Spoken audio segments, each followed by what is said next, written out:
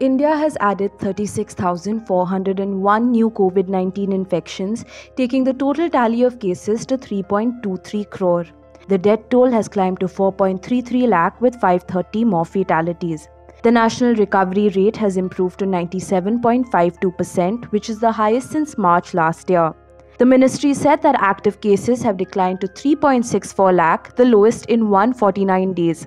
This comprises 1.13% of total infections.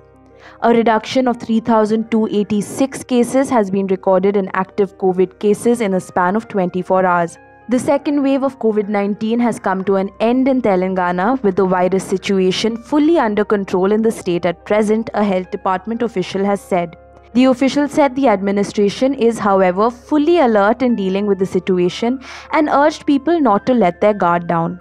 The number of samples tested for COVID 19 in the country has crossed the 50 crore mark, and in this month alone, the average daily testing has been over 17 lakh, the Indian Council of Medical Research said on Thursday. The last 10 crore tests were done in only 55 days, according to the ICMR.